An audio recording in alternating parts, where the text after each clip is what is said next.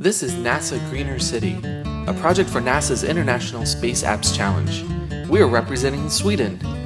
Our project reflects on the wealth of satellite based global climate data NASA has provided the world and asks the question what if it could also provide a street view of our local microclimate? And what if it wasn't NASA, but it was you, your neighbors, your schools, and your family, all crowdsourcing this data and making it freely available to the world? Our NASA Greener City project does this while also promoting urban gardening and computer science education for kids.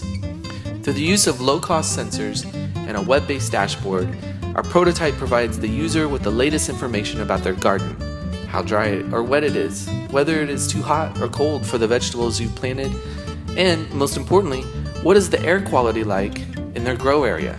This dashboard provides them with fun and useful information about their garden as well as their city and their Earth. The data reported from the sensors is aggregated, normalized, and exposed through APIs that anyone may use to create their own applications or combine with other data sets.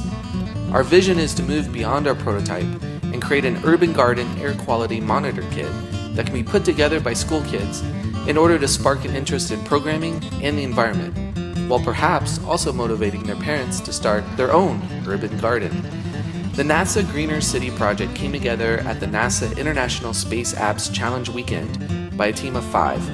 Our team met for the first time on that Saturday morning and was able to brainstorm, sketch, and rapidly prototype a live demo of our idea within 48 hours. We have since continued our collaboration and hope to continue it further in order to refine our prototype and find a way to scale it for our city of Gothenburg and beyond.